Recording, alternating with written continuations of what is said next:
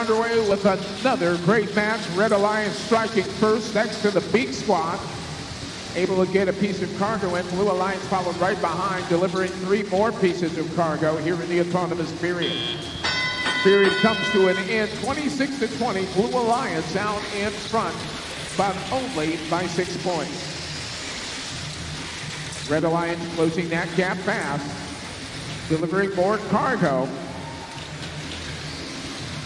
Thanks to Team 503. That's Frog Force leaping into action.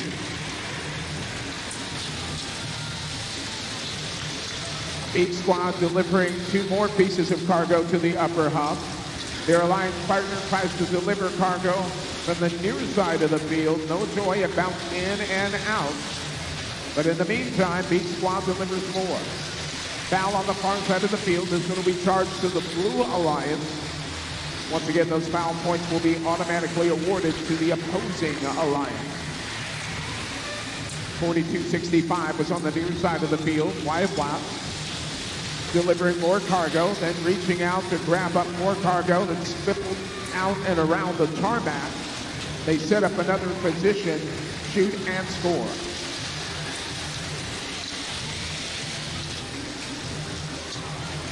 More cargo being delivered, 195 Cyber Knights.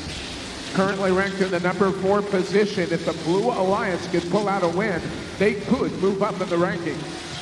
72-64, Blue Alliance down in front. Both alliances having scored the quintet. Additional bonus ranking points are at play. Foul now, this is going to be on the Red Alliance. Referee in the corner was looking at 503. That's Frog Force.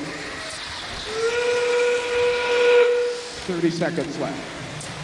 Foul now on the Blue Alliance. This is going to be charged to 1706. They were in that restricted zone of the Red Alliance hangar.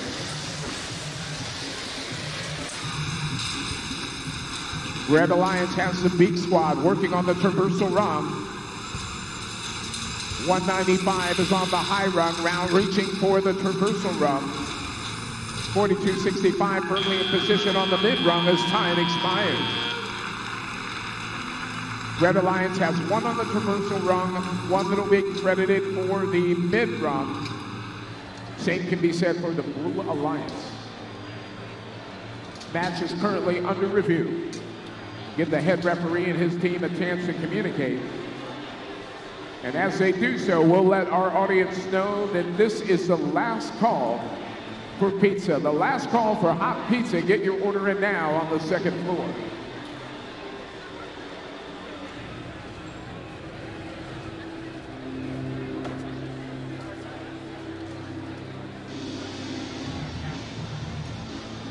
Just talking to the head referee indicating that first team 503 was in violation of the rules. They were inside the Red Alliance hangar during the end game. Because they were there, because their contact was made, that alliance will be credited with another traversal rung. Scores are up, and your winner is the Blue Alliance.